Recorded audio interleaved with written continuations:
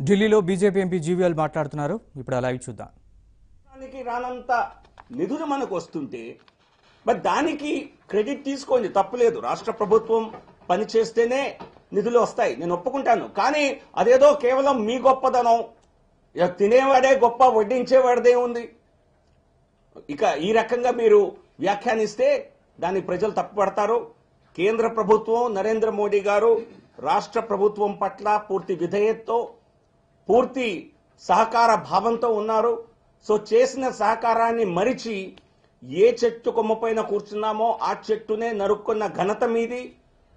So కాబట్టి ఇటువంటి మభ్య మాటలు చెప్పి డ్రామా రాజకీయాలతో మీరు మరలా నేను అందులో ఎక్కచ్చు అని అనుకుంటే అది మీ భ్రమ మాత్రమే. ఈ భ్రమ కూడా కొద్ది నెలల్లో తెరబోతోంది. సార్ కేసీఆర్ మోడీ ఇద్దరు కూడా ఏపీ అభివృద్ధిని ఇక రోజుకొక రోజుకొక కొత్త డ్రామా స్క్రిప్ట్ రాసుకోవటం పొద్దున్నే ఆ స్క్రిప్ట్ని ఓవరాల్ స్క్రిప్ట్ మొదట్లోనే తయారైంది.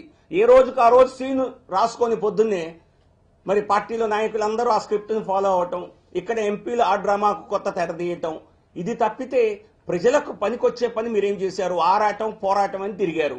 వందల కోట్లు ఖర్చు పెట్టారు ప్రజాధనాన్ని. అన్ని రాష్ట్ర క్యాపిటల్స్కి వెళ్ళి అందరికీ శాలువాలు కప్పి ఏదో గిటార్లో ఫిడేల్లో ఇచ్చి వచ్చారు మరి ఏం సాధించారు దాని నుంచి?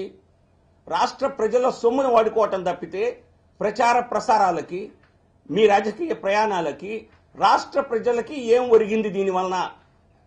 తెలంగాణకు మీరు ఐదు వందల కోట్లు కాంగ్రెస్కి ఇచ్చారని మీరే చెప్తున్నారు. మీ పార్టీ వారు ఎప్పుడు దాన్ని విభేదించలా? మరి ఐదు వందల కోట్లు ఇచ్చి రెండు సీట్లు తెచ్చుకున్నారంటే మరి ఇక్కడ ఎన్ని వేల కోట్లు ఆంధ్రప్రదేశ్లో మీరు ఖర్చు పెట్టబోతున్నారో అందరికీ తెలుసు. ఇక్కడ జరిగిన అవినీతి మరే రాష్ట్రంలో జరగలేదన్న విషయం అందరికీ తెలుసు. సో కాబట్టి మేము అడిగినట్టుగా ఈ ప్రజల కోసం మీరేం చేశారు? అవినీతి తప్ప ఆర్భాటం తప్ప ప్రచారం తప్ప మీరు చేసిన ఐదు మంచి పనులు ఏమన్నా ఉంటే ఐదు అక్కర్ల మూడు చెప్పండి. గుజరాత్లో సర్దార్ వల్లభాయ్ పటేల్ విగ్రహానికి మూడు వేల కోట్లు ఇస్తే అమరావతి రాజధాని నిర్మాణం కేవలం పదిహేను వందల కోట్లు ఇచ్చారని టీడీపీ ఎంపీలు విమర్శిస్తారు దాని అది ఇది ఇవరు చేసే దుష్ప్రచారాన్ని నేను ఎప్పుడో తిప్పికొట్టాను. సో ఇది కేవలం మినిస్ట్రీ ఆఫ్ కల్చర్ నుంచి కొద్ది రెండు మూడు వందల కోట్లు ఎగ్జాక్ట్ అమౌంట్ గుర్తులేదు. నేను ట్వీట్ కూడా చేశాను. మిగతాదంతా కూడా అక్కడ రాష్ట్ర ప్రభుత్వ సంస్థల నుంచి లేదా కొన్ని పిఎస్యూస్ నుంచి వారికి వారికి సిఎస్ఆర్ ఫండ్ కింద రావటం జరిగింది. సో కాబట్టి ఇక్కడ నువ్వు రెండంతస్తుల భవనం కట్టలేకపోయావే. హైకోర్టు నిర్మాణానికి ఎనిమిది నెలల సమయంలో మీరు రెండు అంతస్తుల భవనం కట్టలేకపోయి మరి ప్రపంచంలోనే నాలుగవ పెద్ద నగరం నిర్మిస్తాను ఒలింపిక్ గేమ్స్ తెప్పిస్తాను మరి మీరు ఏదన్నా సినిమా సెట్ వేయదలుచుకుంటే అది వేరే విషయం.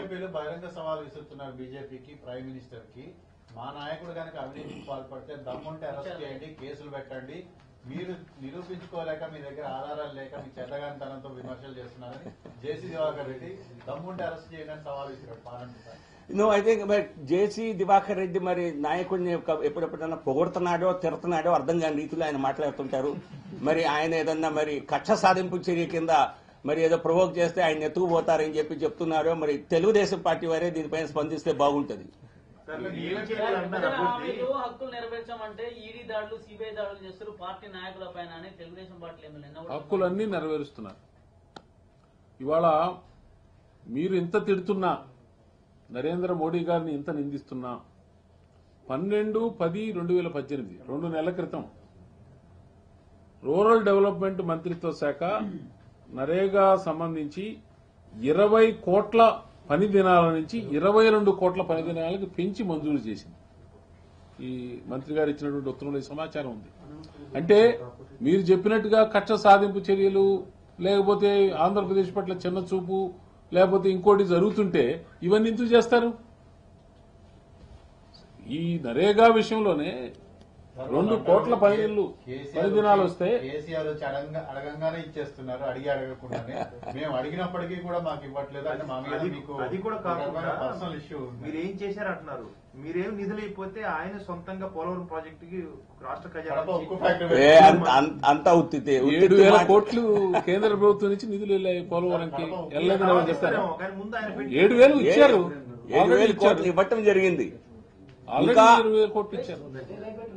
అంత పెద్ద ప్రాజెక్ట్ని ఆయన కడుతుంటారు మీరు ఏం చేయలేదంటారు ఓకే. ఏ బాబు. థ్యాంక్ యూ వచ్చినాయి కదా మెటీరియల్ ఇచ్చారు కదా? ఈ లెక్కలు అన్ని ఎవరిదండి? ఎవరిది? సార్